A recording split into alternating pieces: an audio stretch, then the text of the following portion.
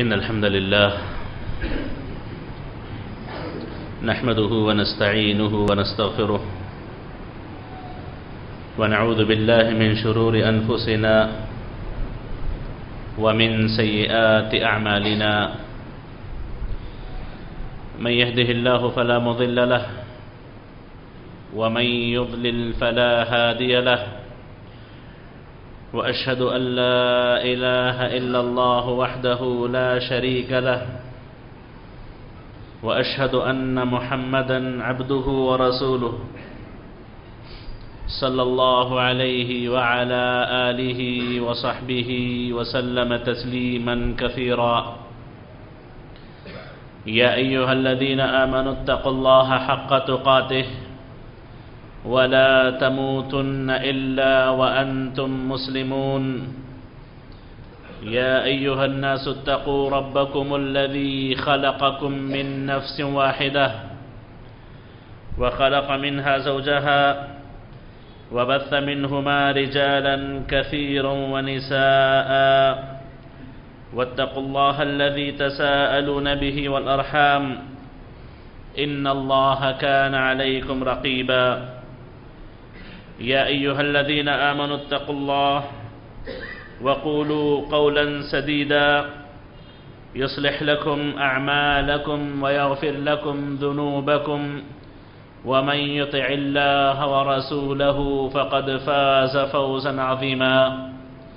أما بعد فإن خير الكلام كلام الله وخير الهدى هدى محمد صلى الله عليه وآله وسلم. وشر الأمور محدثاتها وكل محدثة بدعة وكل بدعة ضلالة وكل ضلالة في النار. قال الله جل شأنه في كتابه المجيد إن الذين كفروا وماتوا وهم كفار أولئك عليهم لعنة الله والملائكة والناس أجمعين. خالدين فيها لا يخفف عنهم العذاب ولا هم ينظرون. قابل احترام حاضرین جمعہ باعزت خواتین ملت تمام تعریفیں ہر طرح کی بڑائی کبریائی رب الجلال کے لیے لائق و زیبہ ہے۔ درود و سلام ہو نبی مصطفیٰ محمد مصطفیٰ صلی اللہ علیہ وسلم کی ذات مبارکہ پر، جن پر درود و سلام جمعہ کے دن کیے جانے والے افضل ترین اعمال میں سے ایک عمل ہے۔ صلی اللہ علیہ وعلى آلہ وصحبہ وسلم تسلیما کثیرا۔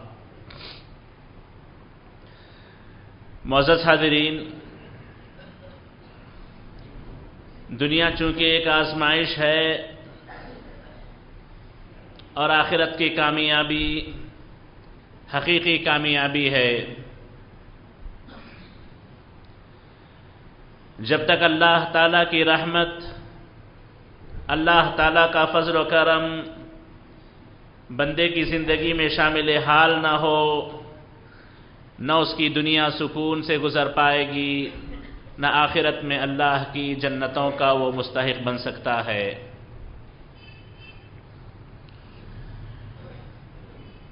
یہ اللہ کا فضل و کرم، اللہ کا رحم و کرم ہے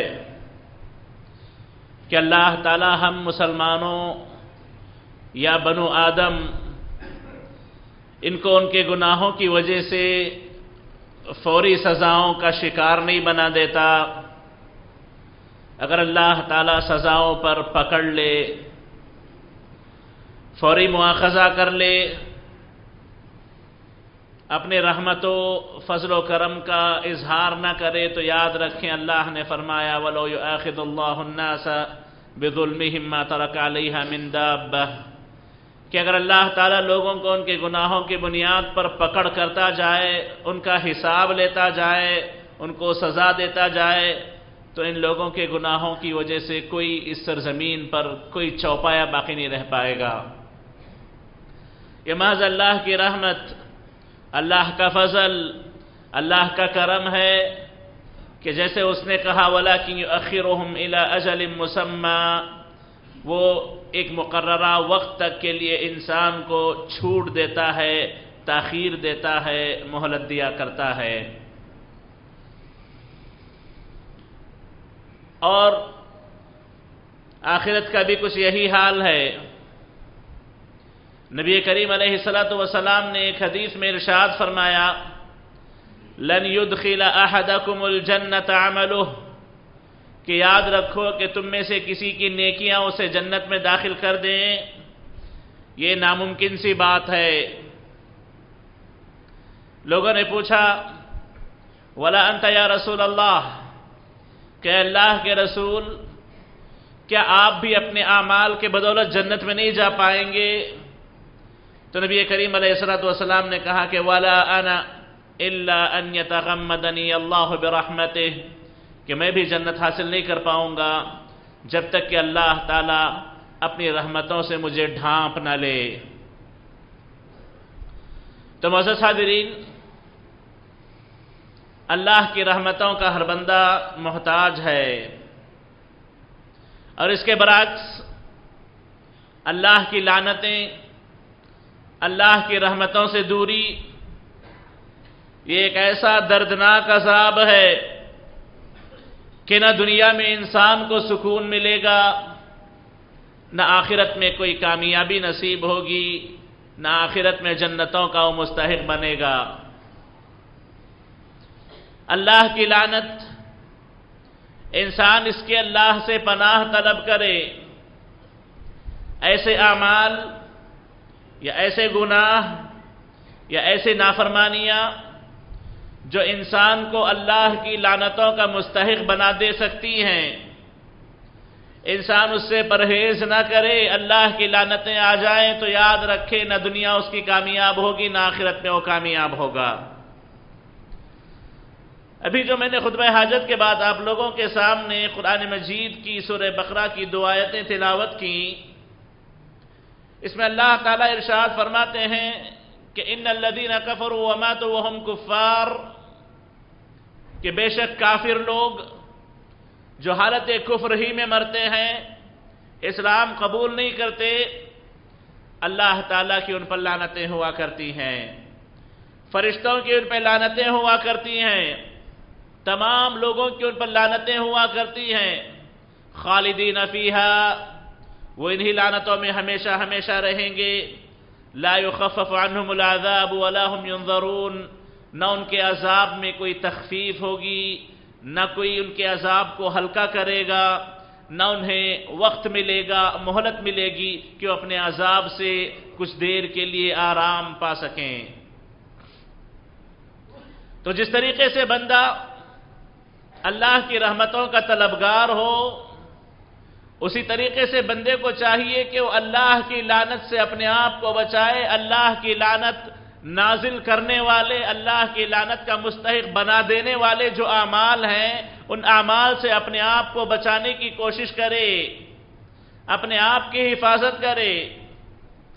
لانت کا معنی کیا ہے؟ علماء کرام نے لانت کے معنی میں یہ بات ذکر کی ہے کہ اللہ تعالی اپنی ناراضگی کے ساتھ کسی کو اپنی رحمتوں سے دور کر دے۔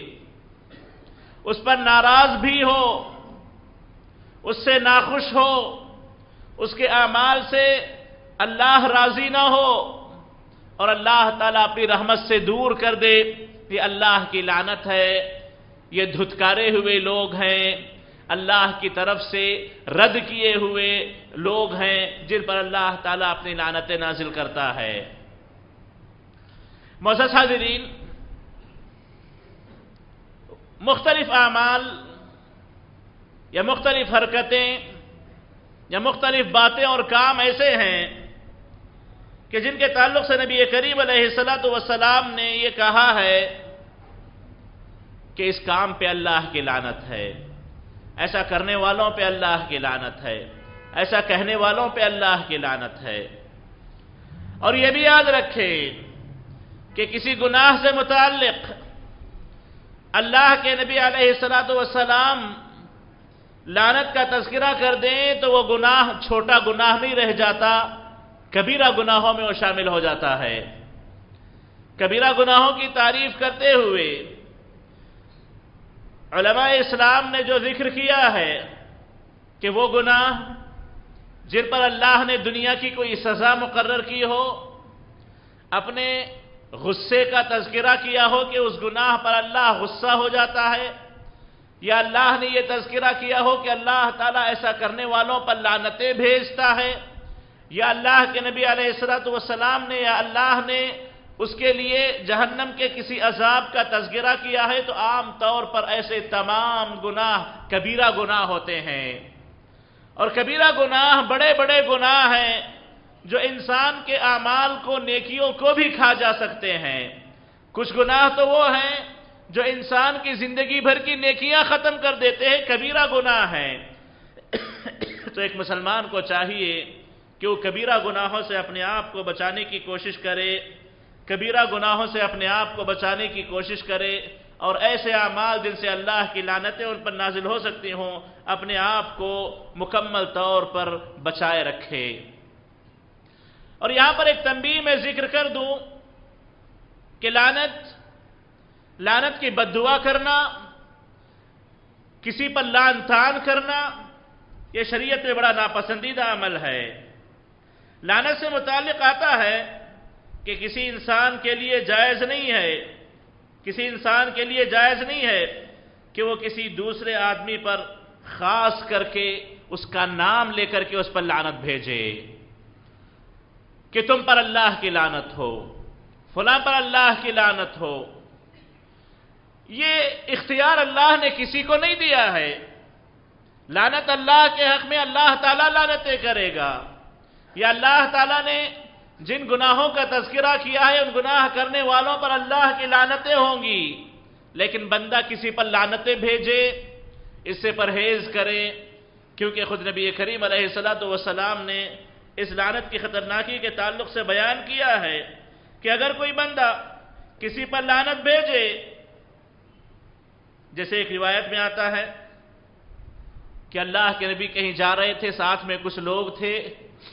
ایک آدمی چل رہا تھا، وہ اپنے بدن پہ اڑی ہوئی چادر سیدھی کرتا جا رہا تھا، ہوا اس کی چادر اڑاتے جا رہی تھی۔ وہ اپنی چادر سیدھی کرتا، ہوا اس کی چادر اڑایا کر رہی تھی۔ تو اس نے کیا یہ کہ ہوا پر لانت بھیج دی۔ ہوا پر لانت بھیج دی۔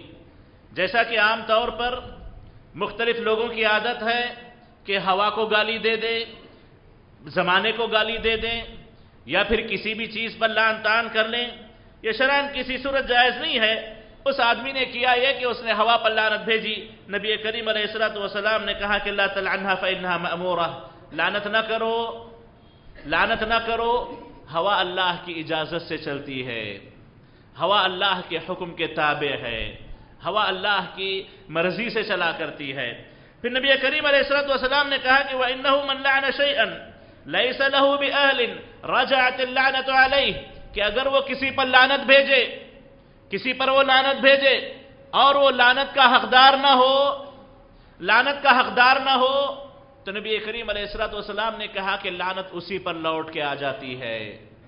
لانت اسی پر لوٹ کر کے آ جاتی ہے۔ تو جن کی زبانوں پر لان تان عام ہے، جن کی زبانوں پر لان تان عام ہے، اور خصوصی طور پر میں اپنی بہنوں سے کہوں گا کہ نبی کریم علیہ السلام والسلام کی اس حدیث کی روشنی میں، جس میں نبی کریم علیہ السلام والسلام نے کہا کہ میں نے ایک مرتبہ جہنم میں جھانک کر کے دیکھا، جہنم مجھے بتائی گئی، تو میں نے دیکھا کہ عورتوں کی وہاں پہ کثرت ہے۔ کسی صحابیہ نے پوچھ لیا کہ اللہ کے نبی، وجہ کیا ہے؟ نبی کریم علیہ السلام والسلام نے کہا کہ تکثرن اللعن تکثرن اللعن، کہ تم لوگ لان تان بہت زیادہ کرتی ہو، گالی گلوچ بہت زیادہ کرتی ہو بد دعائیں بہت زیادہ دیتی ہو، شکوے شکایتیں تمہاری زبان پہ بہت زیادہ رہا کرتے ہیں، یہ سبب ہے جس کی وجہ سے لان تان ہوتا ہے، جس کی وجہ سے اللہ نے اکثر عورتوں کو جہنم میں ڈالا ہے تو میں خصوصی طور پر اپنی بہنوں سے اور عموماً ہم تمام سے اسی بات کی درخواست کروں گا کہ لان تان کو اپنی زبان سے نکالے لان تان اپنی زبان پر نہ رکھیں، کیونکہ لان تان جس پر کی جائے، جس پر لانت بھیجی جائے، اگر حقیقت میں اللہ کے ہاں وہ لانت کی مستحق نہ ہو تو لانتیں پلٹ کر کے اسی پہ آ جاتے ہیں جس نے لانتیں کی ہوتی ہیں۔ اور لانت ایک بڑی بدترین چیز ہے۔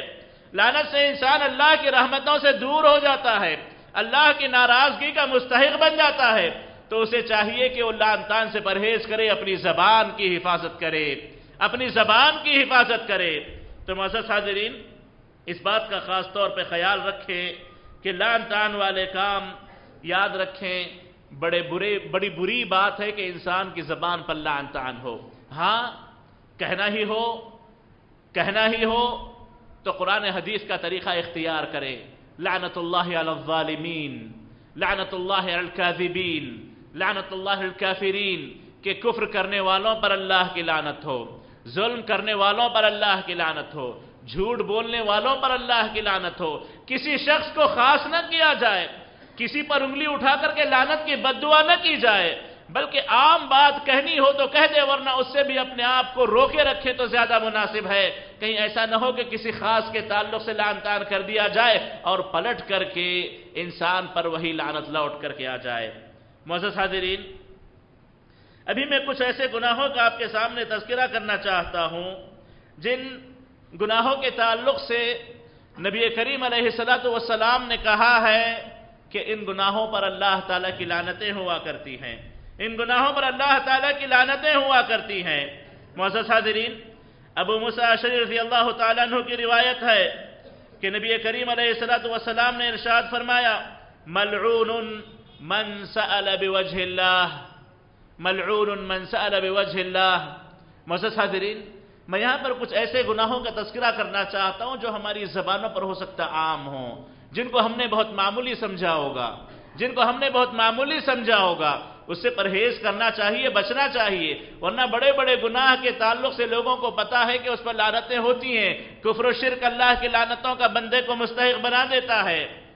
میں یہاں پر کچھ گناہوں کا تذکرہ کروں گا۔ سب سے پہلی چیز یہ ہے کہ عام طور پر ہماری زبانوں پر یہ رواج ہے، ہم کسی سے کچھ مانگنا ہو، کسی کو کہنا ہو، تو کہہ دیتے ہیں اللہ کے واسطے کر دو۔ اللہ کے لیے کر دو، اللہ کی خاطر کر دو۔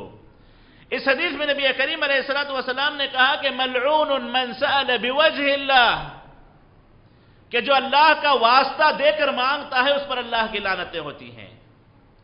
جو اللہ کا واسطہ دے کر مانگتا ہے اس پر اللہ کی لانتیں ہوا کرتی ہیں۔ معزز حاضرین، نبی کریم علیہ السلط والسلام نے جو اخلاق سکھائے ہیں ان اخلاق میں یہ ہے کہ اللہ کے نام سے مانگنا ہو تو جنت الفردوس مانگے۔ سب سے بڑی چیز اللہ تعالیٰ کے نام پہ مانگنا ہو تو جنت الفردوس کو طلب کرے۔ دنیاوی چیزیں، معمولی باتیں، یا پھر انسان کی زبان پر چڑھ جائے کہ اللہ کے واسطے کر دو، اللہ کے واسطے دے دو، اللہ کے لیے کر دو۔ اگرچہ آپ کی نیت اس میں نہ ہو، اگرچہ آپ کا قصد اس میں نہ ہو، لیکن زبان سے الفاظ تو نکلے۔ اللہ کا واسطہ تو دیا گیا۔ اور نبی کریم علیہ السلام وسلام اس حدیث میں کہتے ہیں، جس حدیث کو امام البانی رحمہ اللہ نے حسن سند سے ذکر کیا ہے، ابن عساکر کی روایت ہے کہ ملعون من سأل بوجہ اللہ، ملعون من سأل بوجہ اللہ، کہ جو اللہ تعالیٰ کی واسطہ لے کر کے اللہ کا نام لے کر کے مانگے، تو اللہ تعالیٰ کی لانتیں اس پر ہوا کرتی ہیں۔ اور اسی طریقے سے مزید حدیث میں آگے الفاظ یہ ہیں کہ وَمَلْعُونٌ مَنْ يُسْأَلُ بِوَجْهِ اللَّهِ ثُمَّ مَنْ عَسَى إِلَهُ مَا لَمْ يَسْأَلْهُ حُجْرًا اب کسی سے اللہ کی خاطر مانگ لیا گیا۔ اس نے نہیں دیا۔ دے سکتا تھا۔ اس کی اپنی طاقت تھی۔ مانگ سکتا تھا، لیکن اس نے نہیں مانا۔ اس نے نہیں سنا۔ تو نبی کریم علیہ السلام کہتے ہیں کہ جو اللہ کے نام پر مانگے جانے کے باوجود نہ دے، اس پر بھی اللہ کی لانت ہوتی ہے۔ اس پر بھی اللہ کی لانت ہوتی ہے۔ ما لم يسألہ حجرا، جب تک کہ وہ ایسی چیز نہ مانگ لے جو ناشائستہ ہو۔ غلط چیز مانگ لے، اس کی طاقت سے بڑھ کر کے مانگ لے، اس کی مرضی کے خلاف مانگ لے۔ اور وہ اس کی طاقت میں نہ ہو، نہ دے تو اس کی مرضی کی بات ہے۔ معمولی سی چیز ہو دے دے تو کوئی حرج نہیں ہوگا، کوئی فرق نہیں پڑے گا۔ جیسے سورہ معاون آپ لوگوں نے پڑھا ہے، جس میں اللہ تعالیٰ نے کہا فویل للمصلین الذین هم عن صلاتهم ساہون الذین هم یراؤون ویمنعون الماعون۔ کہ ان لوگوں کی ہلاکت و بربادی ہے، جو لوگوں سے معمولی چیزوں کو رو کے رکھتے ہیں۔ کوئی پن مانگ لے کہ لکھ کے دے دوں، کوئی تھوڑا سا لفٹ مانگ لے کہ وہاں تک چھوڑ دو۔ یا اس قسم کی معمولی چیز کے بندہ خرچ کر دے تو اس کا زیادہ نقصان نہیں ہوگا، زیادہ فرق نہیں پڑے گا۔ اللہ نے کہا کہ ان لوگوں کے لیے ویل ہے جو معمولی چیزوں کو روک کے رکھتے ہیں۔ دیتے نہیں ہیں لوگوں کو۔ تو معزز حاضرین، اگر کوئی اللہ کا واسطہ دے کر کچھ مانگ لے اور آپ کی طاقت میں ہو، آپ دے سکتے ہو، آپ کی طاقت سے بڑھ کر نہ ہو یا کوئی غلط چیز نہ ہو، تو آپ کو روکنا نہیں چاہیے، کہیں ایسا نہ ہو کہ اللہ کی لانتیں آ جائیں۔ ایسا نہ ہو کہ اللہ تعالیٰ کی لانتیں آ جائیں۔ تو محسوس حاضرین، اس بات کا خاص طور پہ خیال رکھیں کہ اللہ کے نام پہ مانگنا نہیں چاہیے۔ اللہ کا واسطہ خواہ مخواہ دینا نہیں چاہیے۔ اللہ کو اپنے معاملات میں لانا نہیں چاہیے۔ پچھلے انبیاء سے متعلق آتا ہے، پچھلے انبیاء سے متعلق آتا ہے کہ ان میں سے کچھ انبیاء ایسے تھے کہ اگر کوئی جھگڑا کرتے ہوئے اللہ کا نام درمیان میں لے لیتا، اللہ کی قسم کھا لیتا، اللہ کا تذکرہ کر دیتا، تو یہ جا کر کے صدقہ کر دیتے، خیرات کر دیتے کہ جھگڑے میں اللہ کا نام لیا گیا۔ جھگڑوں میں اللہ تعالیٰ کا نام لایا گیا، تو جا کر کے صدقہ خیرات کر دیا کرتے تھے۔ تو مسجد حاضرین، رب ذوالجلال کی ذات بڑی عظیم ذات ہے۔ بڑی عظیم ذات ہے۔ اس کا، اس قسم کی چیزوں کے لیے استعمال نہ ہو۔ ہاں وہی اللہ کی وہ ذات ہے کہ اپنی ہر حاجت کو اسی کے پاس رکھے، حتیٰ کے بعض روایات کے مطابق اگر کسی کے چپل کے، چپل کی ڈالی بھی ٹوٹ جائے تو اللہ سے مانگے۔ اللہ سے مانگنا اچھی چیز ہے۔ آپ اللہ سے چھوٹی سی چھوٹی چیز مانگیں اللہ سے طلب کرے۔ اللہ کے نام پر کسی اور سے مانگے، یہ اللہ کے لیے ناپسند ہے۔ یہ اللہ کے نزدیک ناپسندیدہ ہے۔ اور محسوس حاضرین اسی طریقے سے جن پر اللہ تعالیٰ کی لانتیں اترتی ہیں، ان میں سے ایک یہ ہے، ایک یہ ہے کہ من اشارہ علاقی بحدیدہ، کہ اگر کوئی ہتھیار، چاقو، بندوق یا کوئی ایسی چیز جس سے کاٹا پیٹا جا سکتا ہے، اس سے اپنے کسی بھائی کی طرف اشارہ کرے، جیسے کسی کو چاقو دکھائے، تلوار دکھائے، بندوق کی نال اس کی طرف کرے یا خنجر اس کی طرف لگائے۔ اگر یہ کرتا ہے تو ایسوں پر بھی اللہ تعالیٰ کی لانتیں اترتی ہیں۔ جیسا کہ ابو حریر رضی اللہ تعالیٰ عنہ کی روایت ہے کہ نبی کریم علیہ السلام نے کہا، من اشار الى اخیه بحدیدت فإن الملائکة تلعنه حتى وإن كان اخاه لأبيه وأمه کہ اگر کوئی اپنے کسی بھائی کو کسی ہتھیار سے اشارہ کرے، اپنے کسی بھائی کو کوئی ہتھیار دکھائے، تو فرشتے اس پر لعنتیں کرنا شروع کر دیتے ہیں۔ فرشتے اس پر لانتیں شروع کر دیتے ہیں۔ اگرچہ کہ اس کا اپنا سگا بھائی کیوں نہ ہو، اسی کی ماں، اسی کے باپ کا بیٹا کیوں نہ ہو، اور عام طور پر سگے بھائی ایک دوسرے کو مارنا نہیں چاہتے۔ ہتھیار ایسے ہی دکھ گیا ہو، دکھا لیے ہوں، لیکن مقصود مارنا نہیں ہوتا ہے۔ اس کے باوجود نبی کریم علیہ السلام نے کہا کہ اگر کوئی اپنے سگے بھائی کو بھی ہتھیار دکھا دے تو فرشتوں کی لانتیں شروع ہو جاتی ہیں۔ فرشتے اس پر لانت کرتے ہیں۔ تو مزہ حاضرین، جھگڑے کی حالت میں ہو یا مذاق میں ہو یا ایسے ہی کیجول رہتے ہوئے ایک دوسرے کو ہتھیار دکھانا، چاقو دکھا لینا، بندوق دکھا لینا یا غصے کی حالت میں اس کی طرف بندوق کرنا، چاقو کرنا یا کوئی ہتھیار کرنا، شرعن کسی صورت جائز نہیں ہے۔ شرن کسی صورت جائز نہیں ہے۔ اور اگر کوئی کر دے، اگر کوئی کر دے تو اللہ کی طرف سے فرشتوں کی لانتیں شروع ہو جاتی ہیں۔ اور بعض روایات میں آتا ہے کہ ہو سکتا ہے کہ شیطان اس کو ہتھیار کو چلوا دے۔ ہو سکتا ہے گولی چل جائے۔ ہو سکتا ہے چاقو لگ جائے۔ ہو سکتا ہے تلوار چل جائے۔ اور کتنے واقعات ایسے ہوتے ہیں کہ کسی کا ارادہ نہیں ہوتا اپنے کسی بھائی کو تکلیف پہنچانے کا۔ ہتھیار سے اشارہ کرتا ہے، اچانک چوٹ پہنچ جاتی ہے۔ کچھ کٹ جاتا ہے، نقصان ہو جاتا ہے۔ اور یاد رکھیں اسلام کی تعلیمات دنیا و آخرت کی بھلائی کے لیے ہوتی ہیں۔ تو کسی کی طرف ہتھیار دکھانا یہ شرعن کسی صورت جائز نہیں ہے۔ اس پر اللہ تعالیٰ کی لانتیں ہوا کرتی ہیں۔ جو آدمی اپنے کسی بھائی کی طرف، کسی آدمی کی طرف ہتھیار لے کر کے اشارہ کرے۔ اور اسی طریقے سے ایک اور عمل جس پر اللہ تعالیٰ کی لانتیں ہوا کرتی ہیں۔ اگر کوئی بیوی ہے، اس کا شوہروں سے بلائے۔ اس کا شوہر اس سے تعلق قائم کرنا چاہے اور وہ اس کے بستر پہ نہ آئے، اس کا ساتھ نہ دے، اس کی خواہش پوری نہ کرے۔ روایت میں آتا ہے، ابو حریرہ رضی اللہ تعالیٰ عنہ راویہ کہتے ہیں کہ نبی کریم علیہ السلام نے ارشاد فرمایا، اذا دعا الرجل امرأته الى فراشه فابت فبات غضبان عليها لعنتها الملائكة حتى تصبح۔ کہتے ہیں کہ اگر کوئی شوہر اپنی بیوی کو اپنے بستر پہ آنے کی دعوت دے، اس سے مدد مانگے، اس سے تعاون طلب کرے اور وہ آنے سے انکار کر دے۔ چاہے وجہ جو ہو، چاہے وجہ جو ہو، اس کی بیماری ہو، اس کی تکلیف ہو، چاہے وجہ جو ہو، اگر وہ آنے سے انکار کر دے اور نتیجے میں شوہر غصے کی حالت میں رات گزار دے۔ شوہر غصے کی حالت میں رات گزار دے۔ تو نبی کریم علیہ السلام کہتے ہیں کہ صبح تک اللہ کی لانتیں ہوتی رہتی ہیں۔ صبح تک اس عورت پر اللہ تعالیٰ کی لانتیں ہوا کرتی ہیں۔ تو محسوس حاضرین، اس بات کا عورتوں کو خاص طور پہ خیال رکھنا چاہیے کہ جس طریقے سے وہ اپنے شوہروں کی دوسری ضرورتوں کا خیال رکھتی ہیں، اس ضرورت کا خصوصی طور پہ خیال رکھے۔ اگر وہ اپنے شوہر کو کھانا پکا کے نہ ڈالیں تو لانتوں کا تذکرہ نہیں ہے۔ اگر گھر کی صفائی میں کچھ اونچ نیچ ہو جائے تو لانتوں کا تذکرہ نہیں ہے۔ اگر خدمت میں کوئی معاملے میں کمی رہ جائے تو لانتوں کا تذکرہ نہیں ہے۔ اسی کے مقابلے اگر بستر پہ بلانے کے مسئلے میں اگر وہ کوتا ہی کرے، اگر وہ اپنے شوہر کا ساتھ نہ دے، تو یاد رکھیں ایک بہت بڑا حق ہے۔ بہت بڑا حق ہے اور اگر وہاں سے وہ بھٹک جائے، وہاں سے وہ کسی غلط راستے پہ چلا جائے، وہاں سے وہ کسی حرام کاری میں پڑ جائے، تو کہیں ایسا نہ ہو کہ وہ تو گنہگار ہوگا ہی۔ بیوی بھی اس کے ساتھ برابر کی گنہگار ہو۔ بیوی بھی اس کے ساتھ برابر کی گنہگار ہو۔ تو خواتین اسلام اس بات کا خاص طور پہ خیال رکھے کہ اگر طبیعتیں خراب ہو معاملات میں اونچ نیچ ہو، وجہ معقول ہو یا کوئی عذر ہو، شوہر اور بیوی آپس میں سمجھ جائیں۔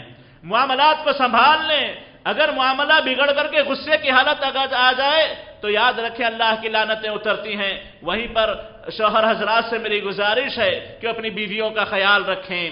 اپنی بیویوں کا خیال رکھیں، ان کی صحتوں کا خیال رکھیں، ان کے عذر کو عذر مانیں، ان پر غصہ نہ ہو غصے کی حالت میں رات نہ گزاریں۔ کہیں ایسا نہ ہو کہ جس بستر پہ وہ سو رہا ہو، اسی بستر پہ سوئی ہوئی عورت پر اللہ کی لانتیں ہوں اور اس کے ساتھ ہی لیٹا ہوا ہو۔ اور لانتیں اسی کے بستر پہ نازل ہو رہی ہوں۔ تو معزز حاضرین، اس بات کا خاص طور پہ خیال رکھیں کہ بہت بڑے حقوق ہیں، حقوق کی ادائیگی اور خاص طور پر یہ شوہر بیوی کے حقوق بڑے اہم حقوق ہیں اور انہی حقوق کی کمی کی وجہ سے آج ہم دیکھتے ہیں کہ گناہ پر گناہ پنپتے جا رہے ہیں۔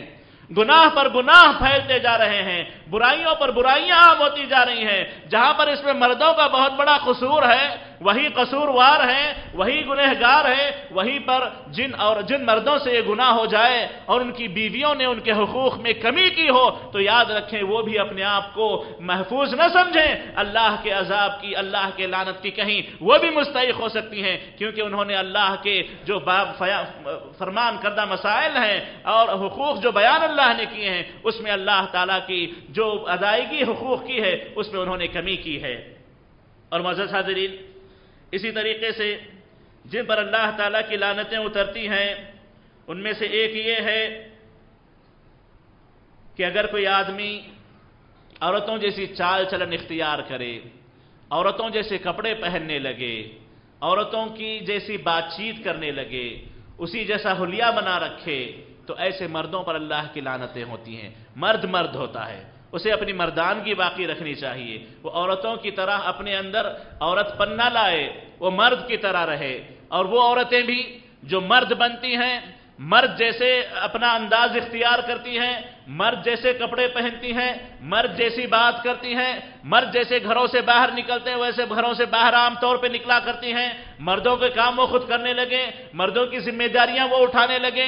جس طریقے سے مرد بازار میں ہوتا ہے، اس طریقے سے وہ بازار میں مردوں کی طرح رہنے لگے۔ مردوں کی مشابت ان کے اندر آ جائے تو ان دونوں پر اللہ کی لعنتیں ہوتی ہیں۔ وہ عورتیں جو مرد بنتی ہیں وہ مرد جو عورتوں کی مشابت اختیار کرتے ہیں۔ نبی کریم علیہ السلام نے ارشاد فرمایا لعن رسول اللہ صلی اللہ علیہ وسلم المتشبہین من الرجال بالنساء والمتشبہات من النساء بالرجال. کہ اللہ تعالیٰ ان عورتوں پہ لعنتیں بھیجتا ہے جو مردوں کی مشابت اختیار کرتی ہیں۔ اور اللہ تعالیٰ ان عورتوں پہ لعنتیں بھیجتا ہے جو مردوں کی مشابت اختیار کرتی ہیں۔ اللہ تعالیٰ سے دعا ہے کہ اللہ تعالیٰ ہمیں ہر اس گناہ سے، ہر اس نافرمانی سے جو اللہ کی لعنتوں بندوں کا ہمیں مستحق بنا دیتا ہو ہماری حفاظت فرمائے آمین أقول قولی هذا وأستغفر الله لي ولكم ولسائر المسلمين من كل فاستغفروه. إنه هو الغفور الرحيم.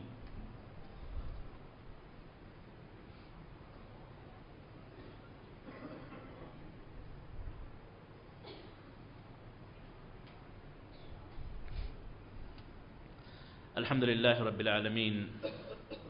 والصلاة والسلام على نبينا محمد وعلى آله وأصحابه أجمعين ومن تبعهم بإحسان إلى يوم الدين. أما بعد. معزز حاضرین، اگر قرآن و حدیث کی نصوص پر نظر ڈالیں تو تقریباً چالیس یا اس سے زائد گناہ ایسے ہیں جن پر اللہ کے نبی علیہ السلاۃ والسلام نے لعنتوں کا تذکرہ کیا ہے۔ کچھ گناہوں کا میں نے آپ کے سامنے تذکرہ کیا۔ کچھ بقیہ گناہ دیکھیں کسی اور موقع پر آپ کے سامنے اللہ نے وقت دیا تو سامنے رکھوں گا۔ ایک اور چیز جس پر اللہ تعالیٰ کی لانتیں ہوا کرتی ہیں، عبداللہ ابن عمر بن العاص رضی اللہ تعالیٰ عنہ کی روایت ہے کہ نبی کریم علیہ السلاۃ والسلام نے لعنت بھیجی ہے دو لوگوں پر، الراشی والمرتشی، رشوت دینے والا اور رشوت لینے والا۔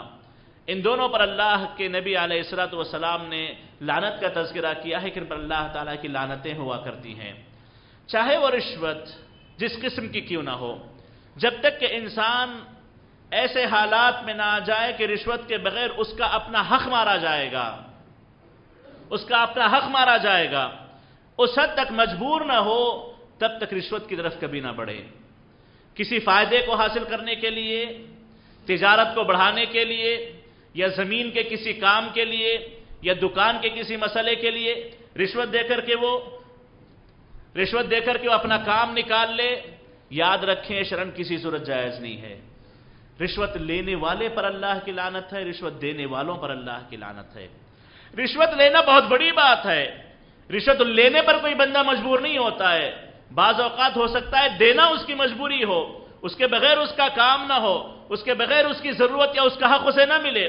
لیکن رشوت لینا، کسی سے رشوت لینا، اس پر کس نے اسے مجبور کیا؟ اس پر کس نے اسے مجبور کیا؟ تو وہ لوگ جو عام طور پر گورنمنٹ جابز میں ہوں، وہ لوگ رشوت لیں۔ یہ شرعن کسی صورت جائز نہیں ہے بہت بڑا گناہ ہے۔ لانتوں کے مستحق رہیں گے۔ لانت زدہ پیسہ اس کے مال میں جائے تو ہو سکتا ہے کہ اس پورے مال پر اللہ کی لانت ہو جائے۔ تو مسجد حاضرین، رشوت لینے اور دینے سے پرہیز کریں۔ چاہے وہ ایک دو روپیے کی بات ہو، چاہے لاکھوں کروڑوں کی بات ہو، رشوت رشوت ہوا کرتی ہے، چوری چوری ہوا کرتی ہے اور عام گناہ گناہ ہوا کرتے ہیں، تو معزز حاضرین، رشوت سے پرہیز کریں۔ کبھی رشوت نہ دیں، کبھی رشوت نہ لیں۔ اور رشوتیں یاد رکھیں اللہ کی لانتوں کا بندے کو مستحق بنا دیا کرتی ہیں۔ تو یہ کچھ گناہ تھے جو میں نے آپ کے سامنے تذکرہ کیے۔ اس امید پر کہ شاید ہمیں نصیحت حاصل ہو، شاید ہم اللہ تعالیٰ سے ڈرے۔ شاید ہمیں ہمارے دلوں میں اللہ کا ڈر پیدا ہو اور ایسے تمام کاموں سے ہم بچ جائیں جن سے ہم اللہ کی لانتوں کے مستحق ہوں اور اللہ تعالیٰ اپنی رحمتوں سے ہمیں دور کر دے۔ اللہ تعالیٰ سے دعا ہے کہ اللہ تعالیٰ ہمیں ان تمام قسم کے کاموں سے جس سے اللہ کی رحمت سے دوری ہو، جس سے اللہ تعالیٰ کی رحمت سے مایوسی ہو، اللہ کے ناراضگی کا سبب بنتے ہوں۔ اللہ ان تمام کاموں سے ہماری حفاظت فرمائے۔ اللہ تعالیٰ ہم پر رحم فرمائے اور ہر حال میں اللہ تعالیٰ اپنے رحم و کرم پر اپنی رحمتوں اور برکتوں میں ہمیں رکھے اور جب تک زندہ رکھے اللہ تعالیٰ ہمیں اس کے دین کا پابند بنا کر کے زندہ رکھے اور جب موت دے تو ہمارا خاتمہ بالخیر فرمائے اور سوئے خاتمہ سے اللہ تعالیٰ ہماری حفاظت فرمائے۔